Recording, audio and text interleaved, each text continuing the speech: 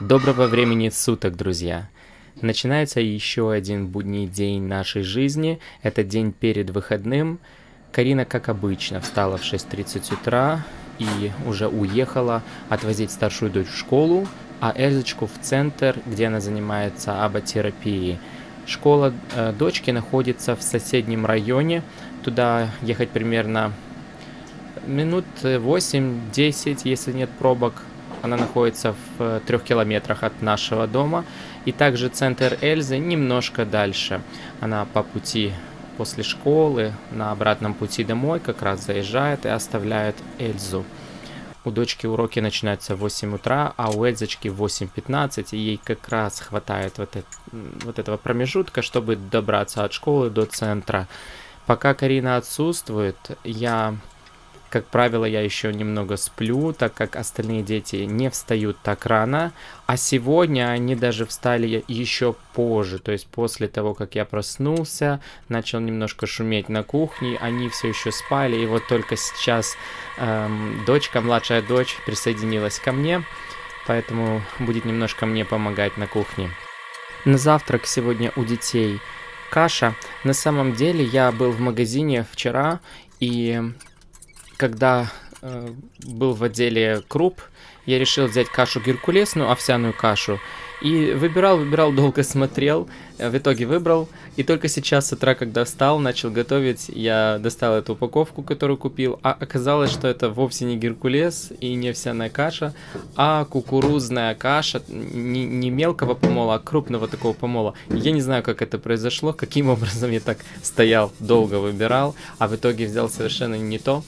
Поэтому э, пришлось мне варить э, манку. Не хотелось мне варить манку, я люблю больше овсяную кашу, да и дети тоже э, по вкусу. Я вижу, да, когда готовлю манку и когда готовлю кашу геркулес, вторая заходит лучше, им больше нравится, и они ее и съедают ее побольше.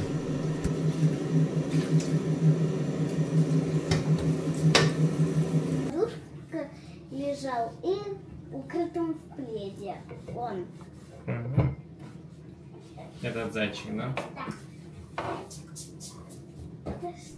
Кроме приготовления завтрака, нужно было еще перемыть посуду, запустить посудомоечную машину, да еще и вручную немного, потому что много посуды осталось с вечера э, предыдущего.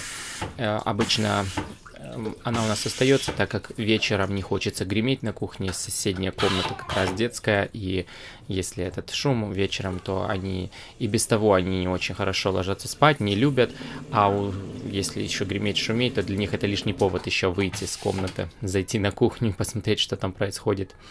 Э, кстати, хочу сказать, что я уже раньше говорил, показывал еще раз, но сейчас э, более как-то э, как раз в деле видно, как используется вот этот промыватель банок, стаканов. Я его установил на место дозатора. Видите, у нас он отдельно в баночке стоит. Вообще там предусмотрено отверстие для дозатора для мыла.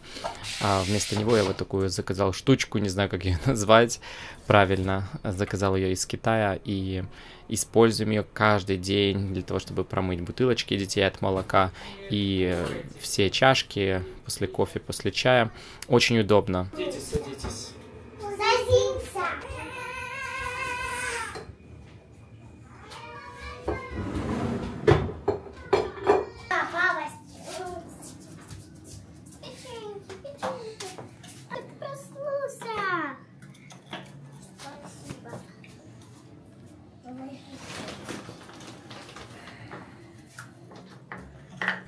Вот уже все проснулись, каша как раз остыла. Пока э, те, кто проснулся раньше, ждали остальных, они немножко перекусили там этими палочками, солеными печеньками.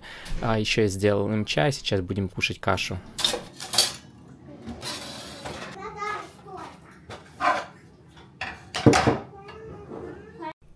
Пока дети кушают свою кашу, я решил протереть плиту. Вы знаете, я часто думаю, как бы мне хотелось все-таки, чтобы была у нас электрическая плита, так как на ней нет ничего на поверхности, кроме стекла, и очень удобно и легко протирать. А с этой плитой приходится немножко мучиться. Котичка, ты где маленький? Гагутики, а гагутики, а гагутики маленький.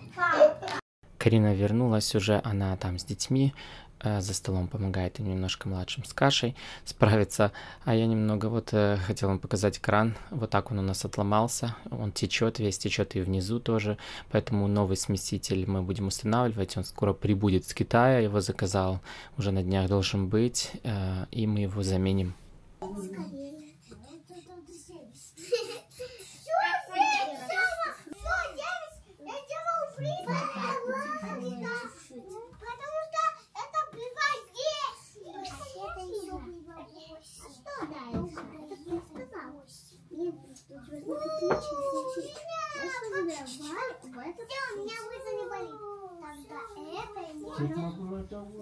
Дождемся половой. Тогда это может быть иначе. Да вот это стены. Ну.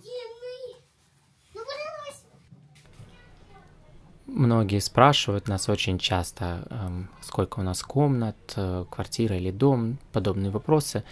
И уже мы не раз отвечали, особенно это в наших прямых эфирах э, в ТикТоке. Это квартира, и здесь у нас три комнаты, и мы, конечно же, используем максимально все пространство, что возможно, но таким образом, чтобы не было нагромождения. И когда я делал ремонт в этой прихожей, я э, делал также шкаф сам. Это один из моих первых проектов по, по мебели. Я продумывал все детали, как сделать так, чтобы э, он подходил для одежды которую мы будем там хранить. Там хранится вся верхняя одежда детей, их обувь, наша обувь, очень много инструментов и много другого. Все туда вместилось, выглядит очень-очень компактно все, но на самом деле вместительно. И также есть зона, где можно хранить коляску, она у нас складывается. И также есть место для того, чтобы эм, вешать куртки, которые мы используем сейчас по сезону. Сейчас пока дети маленькие, их вещи, они небольшие, и все вмещается. Но в будущем, я думаю, нам предстоит перепланировка, конечно же. Я сделал себе чашечку чая, выпью. Карина уже дома, она с детьми. Эм, а я отправлюсь за старшей дочкой в школу в этот раз. Обычно Карина ездит, чтобы ее забрать, но в этот раз хочу я прогуляться. И предлагаю вам пойти со мной, немного покажу путь, как я туда добираюсь. Комбайн так еще я не разложил. Э, Карина этим займется. Она уже спланировала, где он может храниться, поэтому оставляю это занятие для нее. Есть у нас такая полка над э, микроволновой печью находится, где также вся техника, э, часть из нее нужно будет убрать, переложить, что-то уже не буду я использовать, так как в этом комбайне оно есть и дублируется. И Карина там все аккуратно и компактно сложит. Вот я и вышел с дома и отправляюсь в школу за старшей дочкой. Погода теплая, но ветрена, поэтому люди в куртках еще. Да и вообще, когда э, пару дней назад был э, мороз, ну не сказать, что мороз, но был минус, так как выпал снег. Конечно же, люди переживают и одеваются еще в верхнюю одежду, довольно теплую. Э, ветер не холодный, но он очень сильный, поэтому Некоторых можно даже увидеть еще и в шапках, э, несмотря на то, что это уже почти что середина весны.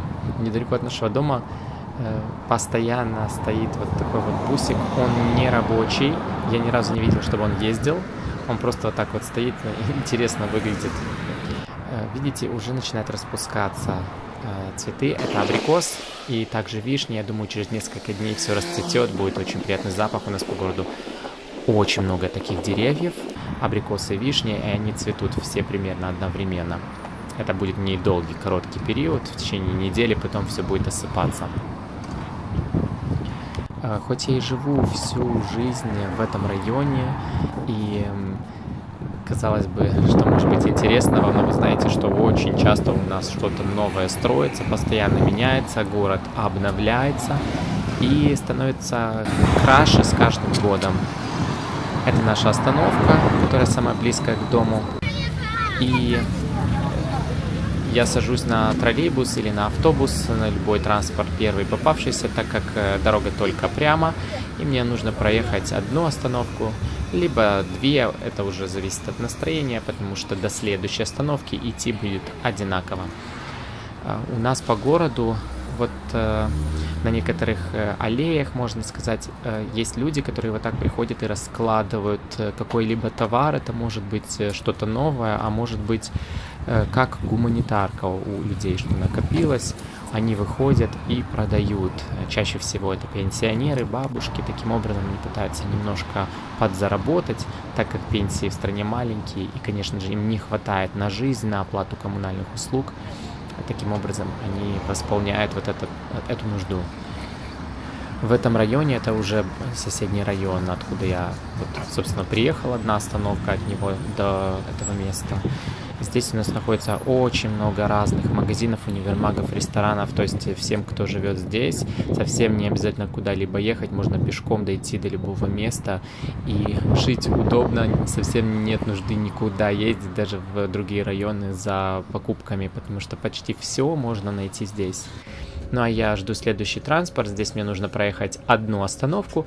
Также можно ее пройти просто пешком, она не длинная. И выходить я буду у парка. Я сейчас, э, у меня немножко есть время, так как я э, немного раньше вышел, и транспорт прибыл сразу. Бывает дни, когда нужно немножко подождать, потому что он забит, а сейчас свободно. И вот этот парк, о котором я говорил, э, здесь, это, этот парк называется парк афганцев. Здесь у нас памятник тем, кто погиб в Великой Отечественной войне и там э, а, также имена на плитах есть, и есть вот такая, э, ну я не знаю точно, кто это изображен, возможно, это мать, которая скорбит по э, сыну своему, который погиб, не вернулся с войны. Здесь всегда огромное количество голубей, собственно, как и во всех парках, и люди всегда приходят сюда с детьми, чтобы покормить голубей, погонять их, немножко побегать. И иногда, когда я забираю дочь со школы, э, мы идем в этот парк и минут 10-15 по нему можем прогуляться, что-нибудь взять, покормить голубей.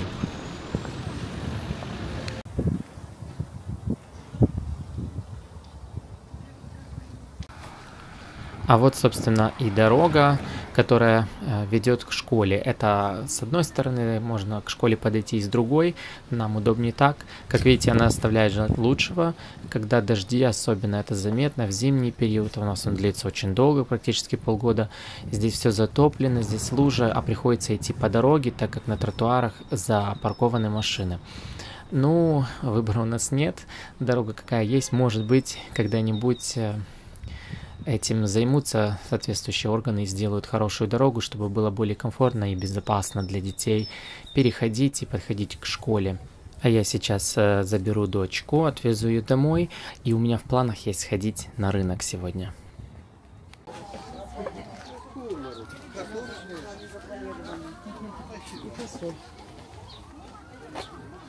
На рынок я хожу редко, но когда приходит весна, то хочется приходить немного чаще, так как здесь больше выбора, более свежие овощи, чем в супермаркетах, хоть э, порой они и дороже. Но сейчас я смотрю, у людей примерно одно и то же. Вы видите, огромное количество яблок сейчас продают одного и того же сорта, их всего два, э, в основном два. Очень много зелени есть, и я пришел для того, чтобы купить э, немножко овощей. Мы никогда не делаем э, больших закупок для того, чтобы овощи были всегда свежие. А еще я э, по пути заметил яйца домашние, и сейчас я хочу взять этих яиц. Кстати, цена на них такая же или ниже, чем на магазин, магазинные яйца. То есть понятно, что лучше взять домашние. И теперь я точно буду на рынок приходить за ними. Но все равно кое-какие вещи на рынке не взять, хоть и есть там и молочка, и все, но я э, схожу также и в супермаркет, чтобы взять э, кое-какие привычные наши продукты, которые я беру, э, как правило, именно в этом супермаркете, называется он Линелла. Э, мне нравится э, больше всего там и выбор, и цены. Снимать на видео сегодня, как я готовлю, я не стану, но сразу скажу, что планирую приготовить э, пюре. Взял для детей бананов, они у нас их любят э, почти все, едят постоянно, и самый младший тоже съедает целый бананчик за один раз. взял свежую молодую капусту. Купил я, кстати, ее не на рынке, так как там она была намного дороже, чем в супермаркете, та же самая. Взял копченой рыбы немножко, жирной. Эм, она по вкусу нравится очень Карине и нравится старшей дочери. Также один свежий хлеб, который дети съедают сразу за раз, просто как, как булочку. Одну бутылку молока у нас еще сохранилось, я просто докупил. И вот такие колбаски, карнацеи они называются у нас на румынском языке. А еще э, я взял коровью брынзу, так как планирую приготовить молдавское традиционное блюдо, мамалыгу с муждеем. И еще купил соленые огурцы. Мы не закатываем огурцы на зиму, э, так как в этом э, в принципе особо смысла нет. Всегда в супермаркете их можно купить, и они всегда вкусные и совсем недорогие. Кстати, эти э, дешевле в три раза сейчас соленые огурцы, чем свежие. Все, сейчас вы все соберете, Мы почти и мы пойдем. собрали. Это вы так сортируете, да? Да, сказал, что мы идем в зоопарк. котику. А я сказал, что мы идем в парк. В парк, в парк, просто гулять, в парк. Вы набегаетесь, напрыгаетесь там. Изюша, мы пойдем гулять сейчас, хорошо? Едем в парк. Да, в парк. Я люблю. Любишь парк, да? Ну давайте. А следующие кадры уже со следующего дня, это суббота, наступил наш выходной, которого мы долго ждали. У нас запланирована поездка в парк. Парк, который находится в другом районе, туда ехать минут 30, э, иногда может быть и больше, если пробки выходные не бывают. Э, И мы, в принципе, весь день посвящаем этому. Сборы в парк, потом, когда вернемся, очень много дел после того, как вернулись всех переодевать, кого-то надо будет, возможно, искупать, как правило, стирка, э, готовить ужин, ну и готовиться к воскресному дню. Ты красавчик. Мама.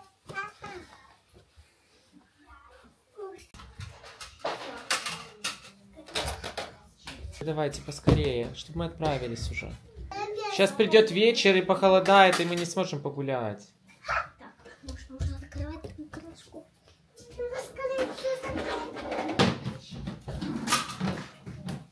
Киш, э, поправь подушечки.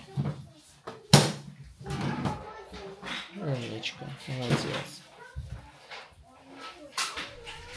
Карина уже одевает детей. Вот вы видите, на полу лежат их джинсы и футболки. Это э, они лежат для того, чтобы э, они сами оделись. Старшие пока они еще заканчивают с игрушками, а младшие уже готовы. Я хочу выпить чашечку чая. Это помогает, тонизирует, так как в парке нам предстоит много работы. Нужно за всеми уследить и смотреть, чтобы все было в порядке. Что, малыш? Мы с- собрали игрушки, а там уже нету. А Там уже нет игрушек, да? Да. Все-все собрали? Да, все собрали. Ой, какие вы молодцы. Вот сын сообщил мне, что они уже готовы, что все собрали. Сейчас еще должны все обуться. Ну и мы будем отправляться. Малыша, конечно же, мы берем в коляске, потому что носить на руках все это время будет очень трудно, а к тому же нам нужно быть готовыми всегда, что нужно будет там побежать куда-то, остановить, потому что в парке э, есть, э, ну не назвать их водохранилищами, но можно сказать такие ручейки, э, речки, и они могут туда залезть. Это не сапоги, это кроссовки. Кроссовки, давай обувайся. Ты хочешь ей помочь, да? Ну, давай. Мне поможет. а а мама.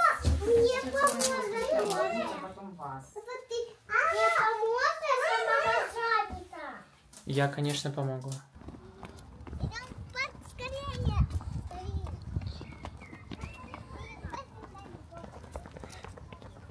Ильдюшка, как красиво. Смотри, здесь все зеленое. Видела?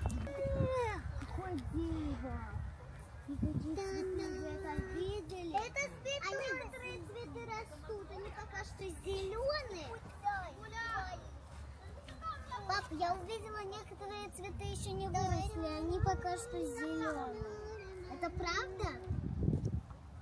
Да, они еще не распустились. Красивые, правда? Вот она. Ну-ка.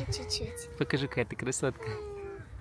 Так жаль, что этот парк находится не возле нашего дома, иначе бы мы гуляли в нем, наверное, каждый день.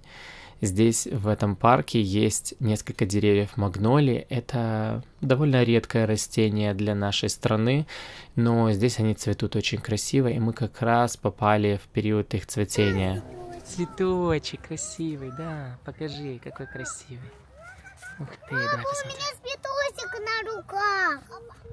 Вау, какая красота девочки.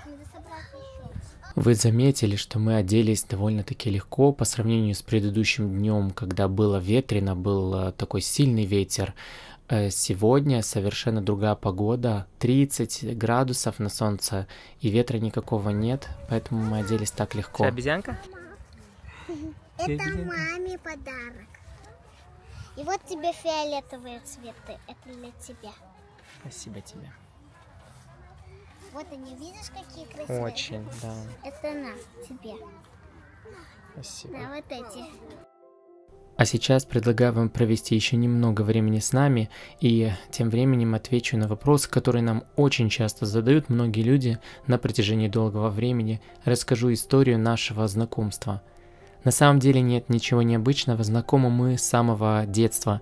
Карина помнит меня с детского церковного хора, куда мы ходили.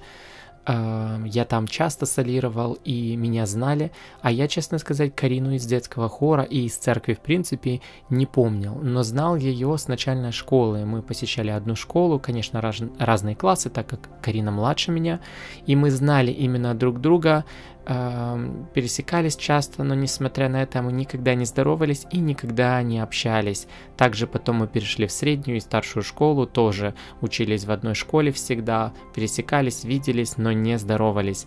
Как Карина говорит, она перестала посещать, посещать церковь в подростковом возрасте. Я всегда оставался в церкви с мамой своей. И когда уже она была в старших классах, она снова пришла к Богу, она уже покаялась, уже все было осознанно. И тогда было лето, мы трудились в лагере в молодежном заезде на кухне. Там мы с ней и пересеклись, когда вместе попали на кухню, мыли посуду. Так мы, в принципе, и, можно сказать, познакомились, хоть мы знали именно друг друга, но начали общаться именно там. В дальнейшем уже у нас появился общий круг друзей в церкви. Мы начали участвовать в одном труде. Я всегда пел. Э, Карина также подключилась к этому труду. Хор э, в группе прославления в церкви мы пели, потом в группах разных сольное пение. И, конечно же, общий круг друзей. Мы проводили очень много времени все вместе.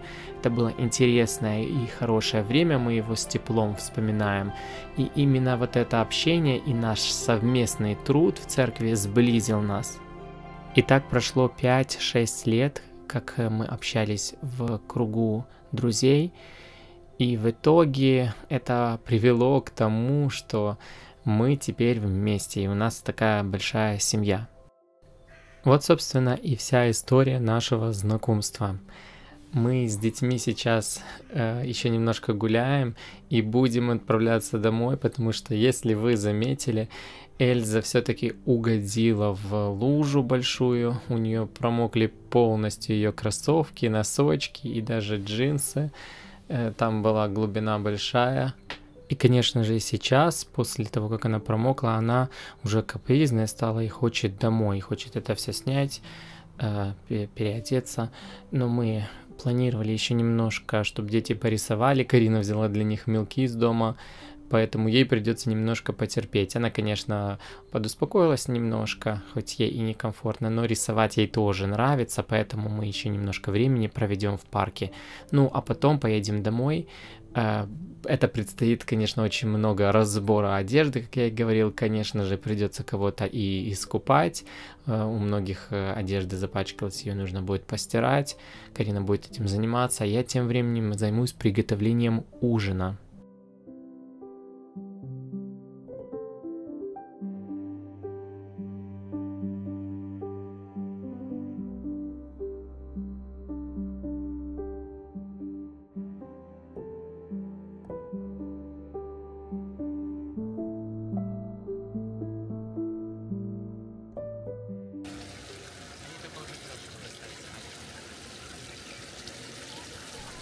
Спасибо всем, кто досмотрел это видео до конца. Желаем вам хорошего весеннего настроения, и мы с вами еще обязательно увидимся.